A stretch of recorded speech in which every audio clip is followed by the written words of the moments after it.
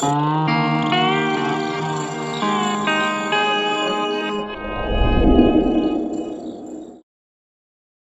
đàn ông sở hữu khả năng bí ẩn nhất thế giới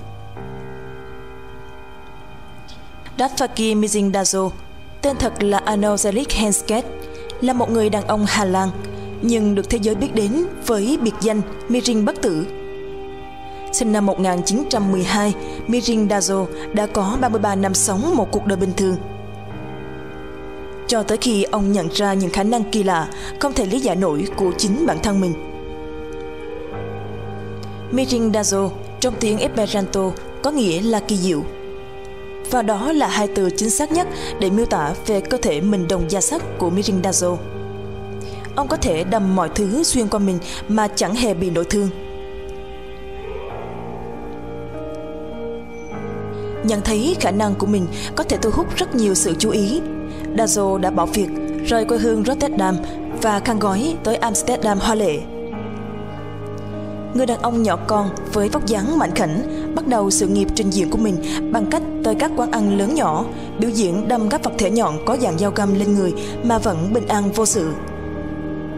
Ngoài ra, Dazo còn nút dao cạo hoặc thủy tinh để tăng thêm độ khó cho các màn trình diễn. Danh tiếng của Mirin Dazo cứ lớn dần từ đó. Năm 1947, lần đầu tiên ông được mời tới nhà hát Corso Theater, thành phố Zurich, Thụy Sĩ để biểu diễn trước hàng trăm con mắt. Tại đây, Dazo đã yêu cầu người trợ lý dùng một thanh kiếm thật nhọn và đâm xuyên qua người mình.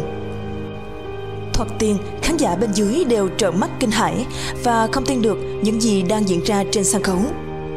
Họ cho rằng đây hẳn là trò đùa nguy hiểm nhất đời mình, cũng như nghi ngờ tính chân thật của màn trình diễn. Cho đến khi Dazo với khuôn mặt cực kỳ bình tĩnh bắt đầu đi lại giơ tấm lưng và phần ngực trần nơi thanh kiếm đâm xuyên qua trước ánh đèn sân khấu. Khán giả mới chịu tin vào khả năng kỳ lạ của ông. Sau thành công của buổi diễn này Mizing Dazo bắt đầu xuất hiện ở các sân khấu lớn hơn. Lúc này, Mizing Dazo thêm một thủ tục nữa trước khi trình diễn, đó là bước vào trạng thái thôi miên. Sau đó, một trợ lý sẽ nhận nhiệm vụ dùng kiếm mỏng hoặc gương bén đâm xuyên qua cơ thể Dazo. Mizing Dazo có thể đi bộ, thậm chí là chạy nhẹ nhàng với một thanh kiếm vẫn đang găm trên lồng ngực. Kỳ lạ hơn, Mizing Dazo không hề chảy máu, dù chỉ là một chút ít. Thậm chí khi thanh kiếm được rút ra, chẳng có cảnh tượng khủng khiếp nào xảy đến cả. Đó là lý do người ta ví màn trình diễn này như trò đùa của một hình nhân. Khán giả chỉ biết vỗ tay thật lớn cho sự kỳ diệu này, trong khi các nhà khoa học có mặt ở buổi biểu diễn thì đâm chiêu phân tích lưỡi kiếm thực sự đã đâm qua da thịt ông ta nhưng mánh khóe ở đây là gì? Phải chăng Mirin Dazo đã đạt tới cảnh giới chịu đau cực hạn? Còn người trợ lý kia chắc hẳn đã phải kinh qua một tá khoa huấn luyện sao cho đâm mà không trúng bất kỳ cơ quan nội tạng nghiêm trọng nào để kiểm chứng cho màn trình diễn của mình, Mizing Dazo đã yêu cầu các bác sĩ chụp x quang cơ thể mình với nguyên một thanh kiếm đâm xuyên qua ngực. Sau khi quan sát phim chụp, các chuyên gia đều xác nhận rằng thanh kiếm quả thực đã đi từ bên này qua bên kia cơ thể. Sau khi kết quả đã rõ 10-10, Mirin Dazo nhẹ nhàng rút kiếm ra và nhanh tay ấn chặt vào vết thương trên người. Có lẽ đó là lý do giúp máu không chảy. Đặc biệt, Mizindazo chẳng cần dưỡng thương khi vẫn tiếp tục các công việc khác một cách bình thường. Tuy nhiên, bác sĩ người Thụy Sĩ Hannah Ezeli Ossot vẫn không tin vào kết quả này. Ông đã đích thân mời Mizindazo tới bệnh viện Zurich Cantonal để nghiên cứu. Và không chỉ có mình, Naegeli Ossot, từ trưởng khoa ngoại tới các bác sĩ đến sinh viên thực tập và các phóng viên đều đứng hình trước khả năng kỳ lạ của Dazo các bác sĩ đã lập tức tới khám vết thương của Dazo ngay khi ông rút kiếm ra. Đối chiếu với phim chụp X quang, họ không thể không thừa nhận màn trình diễn của người đàn ông này. Đồng thời, công nhận rằng Dazo không hề gặp bất kỳ tổn thương nội tạng nào, dù việc đâm một thanh kiếm qua ngực là vô cùng nguy hiểm. Kết quả này lại một lần nữa chứng minh sự kỳ diệu của Mirin Dazo. Về sau, để không ai tiếp tục đặt nghi ngờ nữa, Mirin Dazo đã xuyên ba thanh kim loại rỗng cùng lúc qua ngực. Sau đó, ông cho bơm nước qua lỗ thông để chứng minh rằng cơ thể mình thật sự thủng lỗ. Từ đó ông còn được biết tới với biệt danh vòi nước sống. Dù đã làm hết cách để cho thấy sự chân thật của màn trình diễn, nhưng Dazo vẫn tiếp tục nhận phải sự ngờ vực tới từ giới chuyên gia.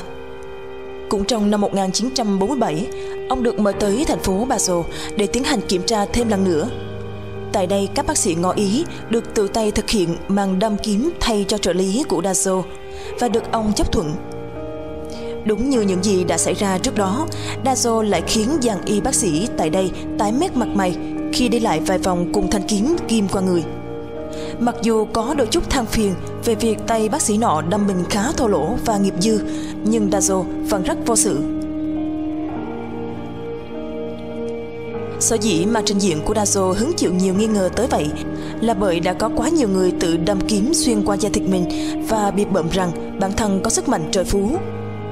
Những người này đều dùng mánh khóe để nút kiếm hay đâm vật nhọn xuyên qua thịt. Họ thường chọn đâm kiếm vào những nơi nhiều mỡ, không có cơ quan nội tạng nào tập trung và cố gắng chịu đau thật lâu nhất có thể. Trong khi đó, Missing Dazo cho phép người khác tùy ý chọn chỗ cần đâm, thích chỗ nào chiều chỗ đấy. Dazo không đâm kiếm xuyên qua thịt, ông ta đâm qua lòng ngực mình như thể đang chơi đùa với tự thần. Đây là điều quá sức tưởng tượng của phần đông chúng ta. Không chỉ vậy, Mizin Dazo còn chứng minh mình thực sự mình đồng da sắt bằng cách đổ nước sôi hay sắc nóng chảy lên người. Giữa trán và phía bên trên mắt phải của Dazo thậm chí còn lưu lại dấu hai vết sẹo. Dazo kể rằng mình từng nhận hai phát đạn xuyên đầu và đó là những gì chúng để lại. Tiến sĩ Senip Fursau cho rằng Dazo đã khéo léo tạo những lỗ nhỏ trên cơ thể tránh các cơ quan nội tạng ra để tiện bề biểu diễn. Các mô sẹo sẽ tự động tạo thành một lỗ thủng mà thanh kiếm có thể đi qua. Tuy nhiên, đó chỉ là phán đoán và ai cũng có thể nhìn thấy Dazo có một tấm lưng chi chiếc sẹo. Nói về khả năng đặc biệt của mình, Missing Dazo cho biết ông thường thiền một vài phút trước khi để kiếm xuyên qua cơ thể. Ông kể rằng mình thường trải qua những giấc mơ siêu thực ngay từ khi còn là một cậu thiếu niên và tài năng Dazo có được là nhờ sự yêu ái của Thượng Đế. Theo Dazo, đấng bề trên muốn thông qua ông để nhắc nhở mọi người về sự tồn tại của một thế lực cao hơn, bỏ xa nhận thức của con người về một thế giới quan duy vật. Một số tờ báo gọi Dazo là Messiah, tức đấng cứu thế. Khi ông khẳng định mình có thể nghe được những tiếng nói siêu thần vang vẩn trong trí óc Tuy nhiên, chính điều này đã khiến Dazo dù có trình diễn tới cả trăm lần nhưng vẫn không thể xin được giấy phép từ phía thành phố. Giới chức địa phương nhận thấy sức hút của Mizing Dazo nhưng chỉ cho phép ông biểu diễn trong im lặng bởi lo sợ người đàn ông này sẽ tuyên truyền những tư tưởng lệch lạc. Dazo không thể giao lưu với khán giả và buộc phải thông qua người trợ lý riêng. Vào tháng 5 năm 1948, Mizing Dazo nghe theo tiếng gọi trong đầu và nuốt một cây kim rất lớn xuống dạ dày. Đúng hai ngày sau, ông rơi vào trạng thái nguy hiểm và phải làm phẫu thuật để loại bỏ chiếc kim đó. Không may, Mizing không qua khỏi và trút hơi thở cuối cùng vào ngày 26 tháng 5 1948, hưởng dương 36 tuổi. Mizing Dazo đã trình diễn đâm kiếm xuyên qua người tới 500 lần có vẻ như chính thứ giúp ông nổi tiếng đã cướp đi sinh mạng của ông. Khám nghiệm tử thi Dazo, bác sĩ cho rằng nguyên nhân chính của cái chết là do vỡ động mạch chủ. Tuy nhiên, nhiều người đi theo Missing đã chối bỏ điều này. Dù đã hơn 7 thập kỷ trôi qua, nhưng tới nay các nhà khoa học vẫn không thể lý giải được trường hợp của Missing Dazo. Làm thế nào mà ông ta có thể đâm mọi thứ qua cơ thể mình mà chẳng gặp bất kỳ vấn đề gì? Điều gì đã giúp Merin có được khả năng siêu nhiên ấy?